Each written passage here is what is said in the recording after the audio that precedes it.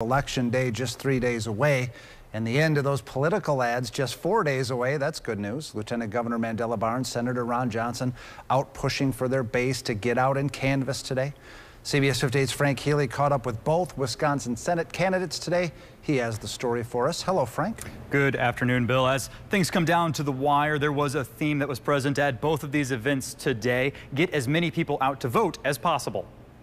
We're holding Ron Johnson accountable on all fronts. He's left us behind, whether it's with abortion access or whether it's his attacks on Social Security and Medicare. That's what Lieutenant Governor Barnes had to say when asked if he's focusing too much on protecting abortion rights and not enough on other issues like the economy. He spoke in front of a group of canvassers in Milwaukee. Barnes specifically targeted Johnson on labor and retirement issues. People's retirement security is absolutely on the line, and we've been uh, we've been talking about it a whole lot because Ron Johnson would be more than happy if folks had to work until they until they die. He voted to raise raise the retirement age. Barnes says his family benefited from well paying labor jobs. He says with Johnson's time in office, Johnson has passed laws that benefit the wealthy, not the working class. To benefit himself personally and his own family. Let's talk about uh, socialism for the wealthy. Later in Waukesha, let's be frank and honest. The Democrat Party, in current hands, is destroying this country. Senator Johnson spoke before a crowd of supporters. He spoke about transgender youth allegedly being given hormone blockers without parental consent at school,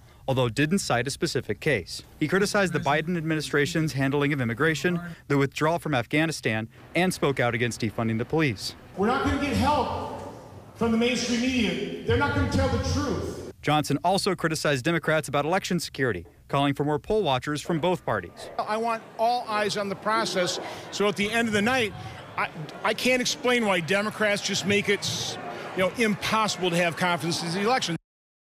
And remember, you can still register to vote on Election Day, Tuesday, November 8th, at your polling place. In the newsroom, Frank Healy, CBS 58 News. Frank?